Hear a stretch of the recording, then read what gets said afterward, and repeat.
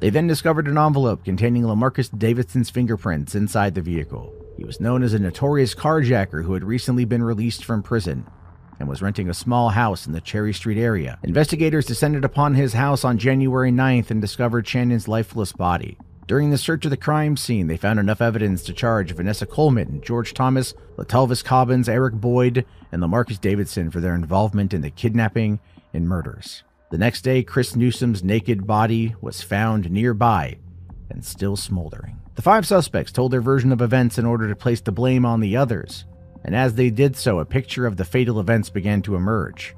Apparently, Davidson needed a vehicle, and Channon and Christopher were simply carjacking targets. Ultimately, Davidson was sentenced to death after being found guilty of two premeditated murders. Thomas and Cobbins were both sentenced to life in prison with no chance of parole, and Coleman was convicted of a lesser charge and sentenced to 53 years in prison.